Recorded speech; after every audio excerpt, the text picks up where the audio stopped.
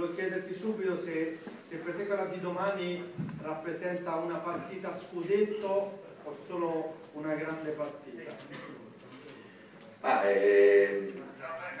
a me mi, mi sembra facile per un addetto ai lavori non dire partita scudetto perché prima di tutto al di là dell'addetto ai lavori ci sono 11 partite, può succedere di tutto. La matematica non è un'opinione, quindi dopo questa partita ci sono altri, se non sbaglio, 33 punti in palio, 11 partite, dove può succedere sempre di tutto, quindi